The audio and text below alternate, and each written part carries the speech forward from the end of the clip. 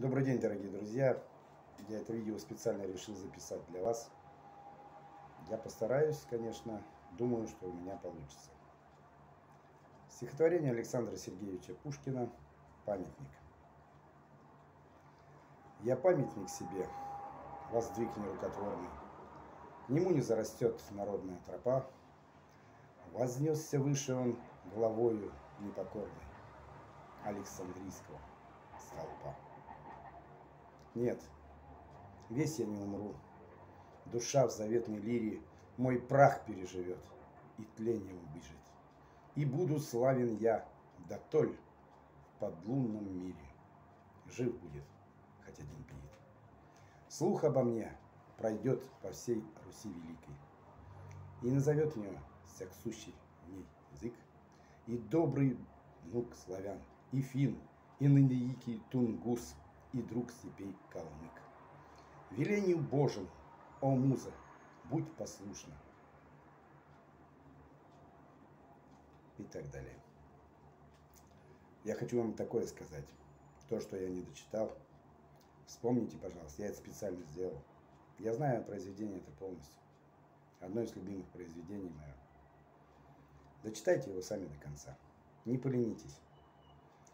Откройте книги, Александра Сергеевича Пушкина и дочитайте это произведение.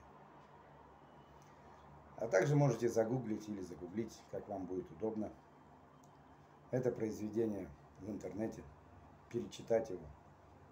Я думаю, что он писал на многие лета или года, как вам будет угодно. Это произведение читали разные люди, он писал это для людей – Конечно, мало он успел за свои 37.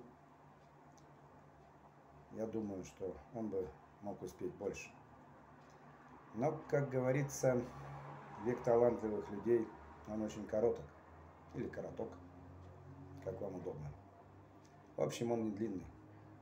Есть еще произведение Высоцкого.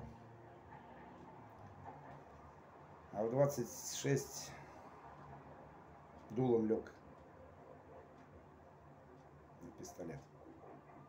А в 37 распяли, но не больно. Вот такие произведения великих, великих писателей мы знаем. Если не трудно будет, можете и произведение Высоцкого прочитать или послушать его песни. Пушкин, он свои стихотворения не ложил на песни а Высоцкий еще и ложил на песню.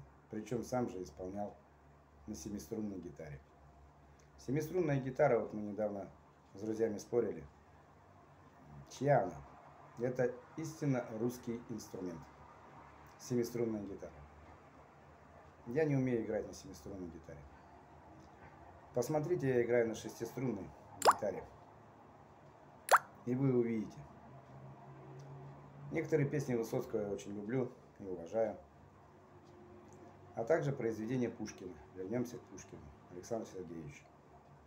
Особенно произведение «Анчар». Анчар, как грозный часовой, стоит один во всей вселенной. К нему ни птица не идет, ни тигр не идет, лишь вихрь черный на древо жизни улетит и мчится прочь уже тлетворный.